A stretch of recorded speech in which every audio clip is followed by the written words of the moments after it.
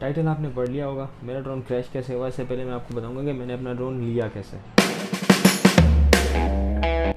सबसे पहले तो अपने उस दोस्त को बुलाएँ जिसके पास गाड़ी हो। और अगर वो गाड़ी ना लाए तो कराची में रक्शे से ज़्यादा बेहतरीन कोई ऑप्शन नहीं है। फिर दोस्तों के साथ सफ़र का मज़ा लेते हुए अपने आप को एक क्रिएटिव कंटेंट क्रिएटर समझकर फालतू के शॉट्स लें।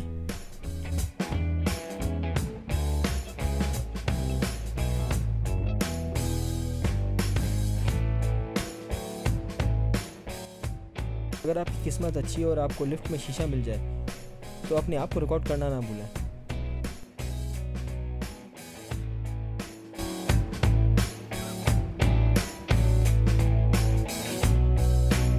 और अपनी स्टोरी को चार चाँद लगाने के लिए एक फालतू का जोक ज़रूर मारें। भाई हम यहाँ ड्रोन लेने आए ये आप पानी पीने आए हैं।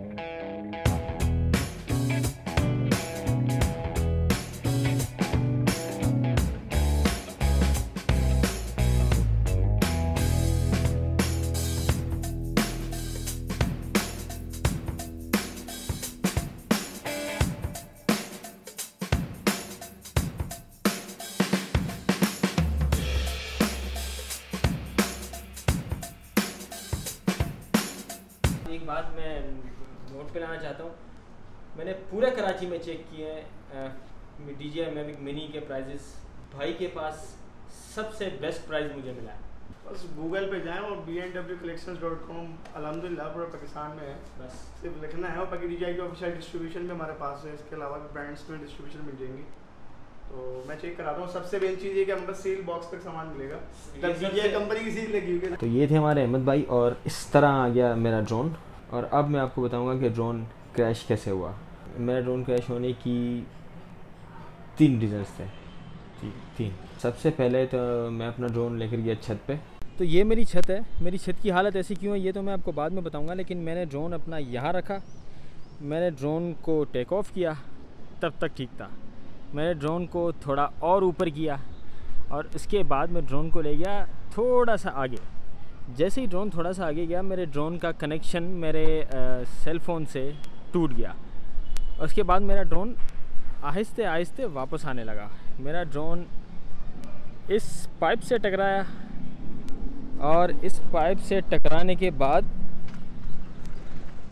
उस नीचे छत, इस छत पे आके गिरा।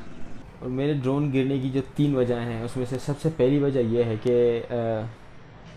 एक ये मेरे ड्रोन के प्रोपेलर गार्ड्स हैं, जो ड्रोन के प्रोपेलर पर लगते हैं कि अगर इन केस अगर ड्रोन गिरे, ये जो नए बच्चे ड्रोन लेते हैं उनके लिए लाइक मी और ये ड्रोन ये प्रोपेलर गार्ड इसलिए है कि अगर आपका ड्रोन गिरे तो आपके ड्रोन के प्रोपेलर्स को कुछ ना हो, जो नहीं लगाए थे। Mistake number one mistake number two ये थी कि उसमें रिटर्न टू होम एक एल्टीट्यूड सेट करना पड़ता है। मतलब अगर आपका रिमोट से ड्रोन का अगर कनेक्शन टूटता है एनी हाउ तो ड्रोन एक ऊंचाई पर पहुंचेगा, जहाँ से वो टेक ऑफ़ हुआ है, उसकी हाइट पर आएगा और वहाँ से लैंड होना शुरू होगा। मैंने एल्टीट्यूड देखा ही नहीं कि उसका एल्टीट्यूड कितना था। बाद में जब चेक करने पता चला, उसका एल्टीट्यूड सिर्फ़ पंद्रह मीटर था और मैं खड़ा हुआ था अपनी छत पे।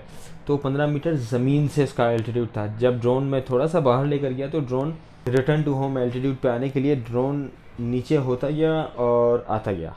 और वो इवेंचुअली बिल्डिंग की दीवार से टकरा कर नीचे गिर गया पाइप से जैसा मैंने तो वापस आने के बाद वो अपनी 15 मीटर की हाइट पे भी वापस आने लगा। तो वो यूँ भी वापस आ रहा था और वो यूँ भी वापस आ रहा था। तो आते आते इंचेस के फासले से अगर इंच मेरा ड्रोन दो इंच तीन इंच ऊपर होता तो शायद वो उससे पाइप से ना टकराता और छत पे ही आता। तीसरी जो मेरी गलती थी, मेरे ड्रोन क्रैश करने की, वो ये थी कि मैंने मोबाइल अपने मोबाइल से जो ड्रोन के कनेक्शन का एक होता है इसमें ऑप्शन ट्रांसमिशन का, कि आप कौन सा सेटेलाइट सेलेक्ट कर लें कौन सा चैनल सेलेक्ट करें जिससे आप अपने रिमोट को मोबाइल से ड्रोन से कनेक्ट कर रहे हैं। मैंने वो ट्रांसमिशन भी चेक नहीं की।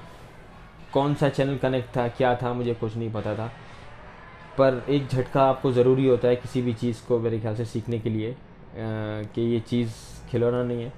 अच्छा इसके अलावा मैंने फिर ड्रोन को 24 घंटे के लिए हाथ भी नहीं लगाया, वो ऐसे ही पड़ा हुआ था। 24 घंटे के बाद मैंने थोड़ी फुटेज बनाई। ज़रूरी नहीं है। देख लो अगर आपको अच्छा लगे तो।